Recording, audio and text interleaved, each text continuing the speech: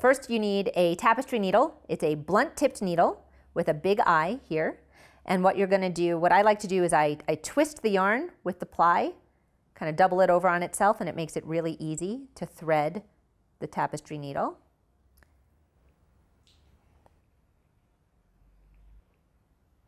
And then what you're gonna do is use the tapestry needle to sew the tail into the crochet that you have already stitched, keeping an eye on making it inconspicuous. So what I'm gonna do here is I'm going to insert my hook and I kind of am trying to go with like the flow of stitches.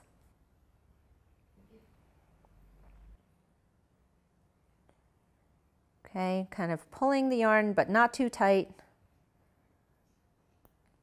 And then what I'd like to do is make sure that I change direction. So I'm going to sew down the stitch as well, kind of over. I'm going to follow the loops where I can.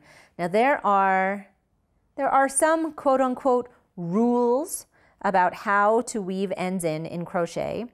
I find crochet stitches to be so sort of unusually shaped that every time I try to follow rules for weaving in ends, I end up confusing myself. So I just go with it, and as long as I feel like I'm hiding the ends well enough and securely enough, then I'm happy.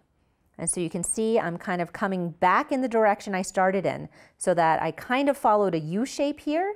At the very least, that's what I want because changing direction is what is going to help keep the yarn from unraveling and coming out.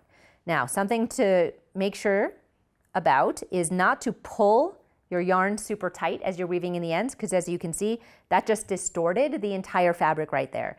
If you find that you've been a bit heavy on the pulling, just tug things so that that tail gets loosened up in there again.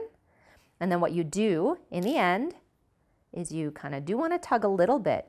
You want to cut the yarn close to the end without risking cutting your stitches. Snip that yarn off, give it a little bit of a tug, and that strand has been woven in.